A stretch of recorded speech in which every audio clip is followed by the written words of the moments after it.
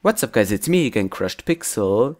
What I have for you today is a Minecraft 1.8 mod which highlights syntax in commands that you either type in the chat or put inside of a command block. Let's get right to it.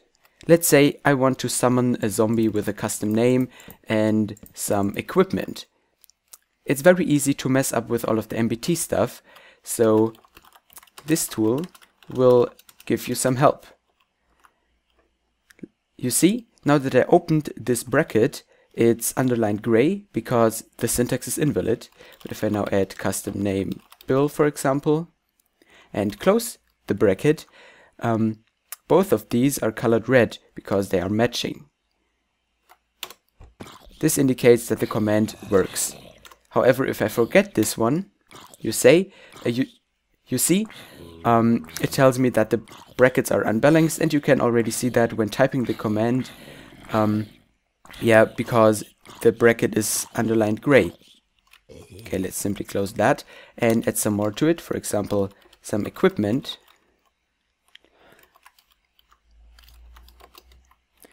And yeah let's just give it an ID Minecraft wooden sword and you see it's highlighted in a slightly lighter orange than the first string and the second curly brackets are slightly darker than the first ones. This is simply so you can distinguish between these and let's give it a damage value. You see, um, once I put the B behind the 1, um, both of these turned green. This is because um, when typing B after a number in commands, it will indicate that the given number is a byte. However, if I exceed the maximum size of a byte, so it's not a valid byte, it's going to be tinted red. Same for um, decimal point numbers, of course. However, if I make it float now, you see it's going to be uh, correct again. If you do not um, put any uh, indicator behind it, it's, ju it's just going to stay white. So Let's give it a damage value. See, he got that wooden sword. And, oh, that's a lot of monsters we have around here.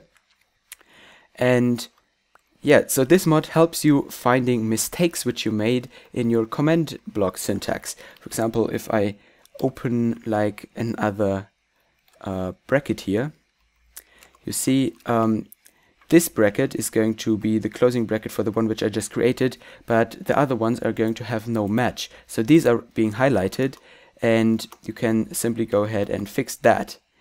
So this is a pretty great help for all of the um, map makers out there. You see if I do not close the quotation marks it's going to highlight them gray as well, etc etc.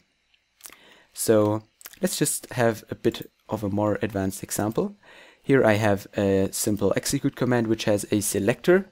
And you see um, the different arguments in the selector are uh, tinted in a different color as well. And here we have the um, these brackets selected as well and marked. And if we go to the actual summon command you see um, all of that stuff is highlighted just as we want it to be if I were to, for example, remove this one, see it's going to uh, show me that this part is going to be um, highlighted as a string and this tells the map maker that uh, something is wrong. If, for example, I forget this one, you see um, the whole thing is simply going to be a bit messed up and yeah, this is pretty nice because if everything is colored, nothing is underlined, you see, um, yeah, everything is simply fine. This mod runs on Forge 1.8. You see, it's the command syntax highlighter.